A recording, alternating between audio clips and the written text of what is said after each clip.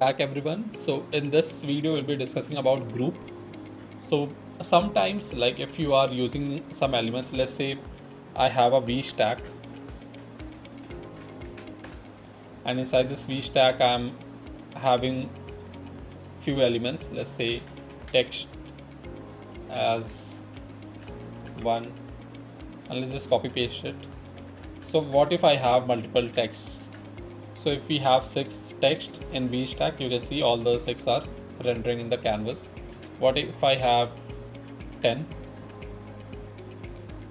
It's rendering in the canvas. What if I have multiple, like let's say 15?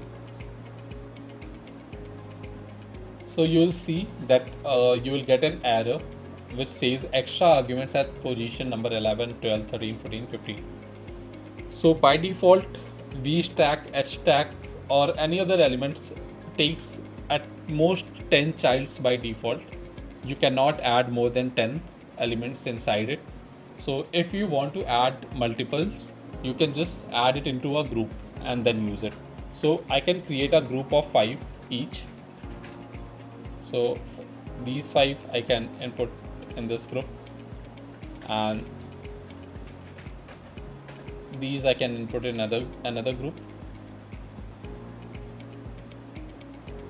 so you can see the error is now gone because now VStack has only one two and three four five six childrens and the group has this group has one two three four five six seven elements.